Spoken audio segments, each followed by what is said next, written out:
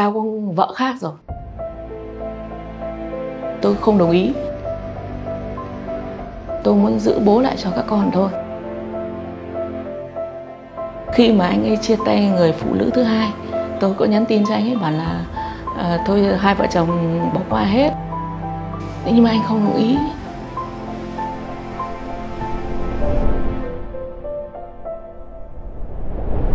Tại sao là người ta cũng đẻ mà người ta giảm cân được em cứ béo như thế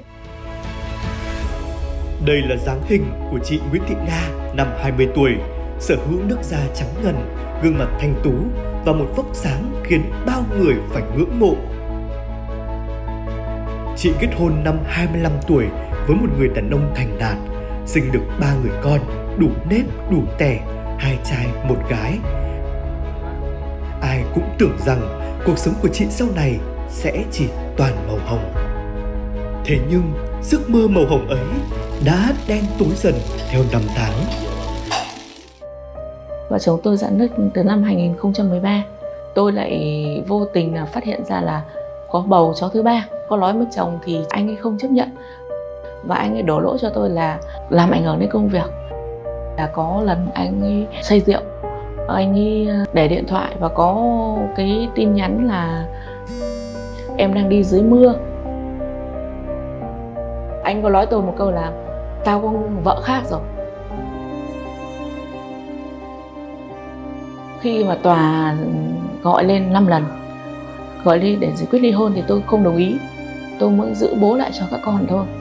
Thế nhưng mà anh ấy bảo là, anh ấy không đồng ý như thế. Con cảm thấy rất là buồn khi bố mẹ ly hôn con thường hay nói với mẹ là thôi mẹ ơi đừng buồn nữa mẹ ôm con đi mẹ sẽ hết buồn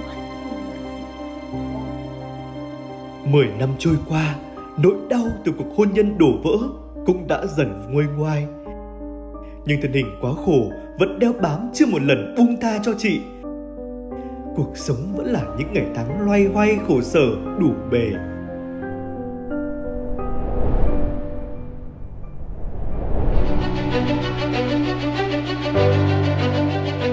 Sự tự tin mặc cảm, chị Nga quyết tâm đến với chiến dịch thoát béo mùa 7 với khát khao tìm kiếm cho mình một cơ hội thay đổi cuộc đời. Liệu chị có thể vượt qua các thử thách và trở thành người may mắn giành được tấm vé vàng?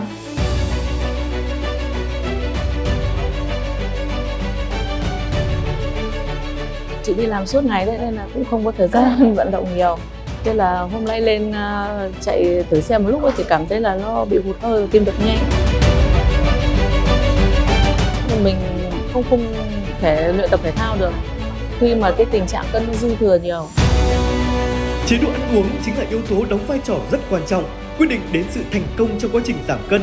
Liệu chị Nga có thể đưa ra một lựa chọn sáng suốt trong vòng thử thách tâm lý đầy khó khăn này? có lúc thì mình ăn uh, nhiều rau xanh mà khi mà cơ thể mình mệt thì mình lại phải ăn tinh bột vào. Mình ờ, ngày xưa cái cơ địa của mình đã là tròn trịa hay là mình mới? Không ừ, mình tăng cân là khi mình uh, trong cái thời gian mang thai. À, Ừ, mỗi một bé mình tăng 20 cân chứ khi thời con gái là mình chỉ có 57 cân thôi. À. Ừ. nhiều khi mình nhìn vào gương chắc là có khi mình cũng cảm thấy là mình không biết đây là ai đúng không chị? Biết, trời ơi cái, cái cái cái cô gái ngày xưa đâu đâu mất rồi. Đặc biệt là em cũng mới sinh em bé xong thì ờ, em rất là hiểu cái cảm giác mình mỗi lần sinh nở xong là một lần mình mất đi rất nhiều cái sự tự tin. Em cảm thấy giống như là mình không còn được yêu hay là chính mình đang không yêu mình. Bây giờ mình nhiều khi là mình cũng- cũng muốn tìm một người đấy để có cái cơ hội được yêu thương hơn thế nhưng mà mình cảm thấy tự ti về hình thức quá thế nên là mình cũng ngại tiếp xúc. Là tức là mình đang bị cái mặc cảm ừ, về ngoại hình. Đúng rồi. Và nó sẽ ngăn cản mình đến rất nhiều những cơ hội mới. Đúng rồi. nhưng mà chị có biết cái nguyên nhân sâu xa của cái việc mình bị tăng cân như vậy là do do vì đâu? Có thể là do mình ăn quá nhiều để cho cho thai nó to đấy. Thì cơ thể của mình nó thực ra nó không cần nhiều như mình nghĩ đâu. Đặc biệt là em vừa mới trải qua một quá trình mang bầu và bé thứ hai thì em thay đổi hoàn toàn với bé đầu tiên. Bé đầu tiên em tăng 15 cân nhưng bé, bé thứ hai em chỉ tăng có 9 cân thôi. Nhưng mà đẻ ra hai bé vẫn bằng cân nhau. Đúng thì em nhận ra một điều là mình phải ăn rất khoa học ấy thì thì em bé mới có được đủ chất dinh dưỡng và mẹ thì không bị béo. Cuộc đời dù có vùi dập đến đâu, chị vẫn chưa bao giờ ngừng nỗ lực vượt qua nghịch cảnh để có thể đem đến một cuộc sống đủ đầy cho các con. Sâu thẳm trong tâm hồn, chị vẫn luôn nhen nhóm ước mơ nhỏ bé của riêng mình. Ước mơ đó chính là lấy lại vóc dáng mơ ước, cải thiện sức khỏe và hạnh phúc đủ đầy. Hơi đáng tiếc một chút là với cái hoàn cảnh của mình ấy thì là mình chưa đủ điều kiện để mình nhận tấm vé vàng ở bên em. Thì không biết rằng là bây giờ thì um, cái cảm nhận của mình như thế nào hả chị? À, nếu mà mình là được người may mắn thì là mình rất là vui để mà có cơ hội để nói làm béo.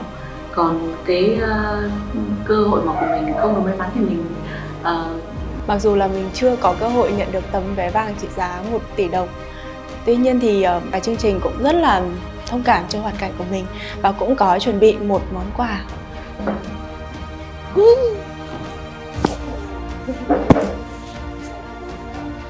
Món quà từ dạ đây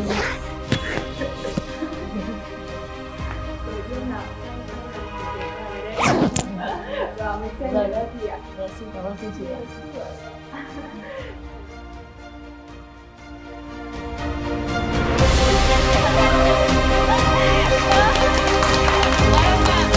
hồng ốp và rất là ngạc nhiên rồi, không nghĩ là mình được.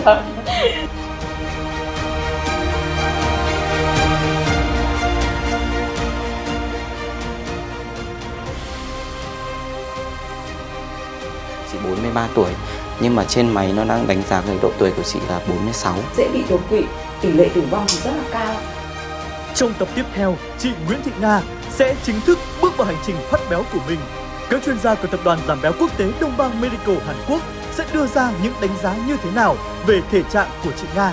Liệu pháp giảm béo nào sẽ được lựa chọn? Quý vị và các bạn hãy cùng đón xem tập 7 Không ai bị bỏ lại phía sau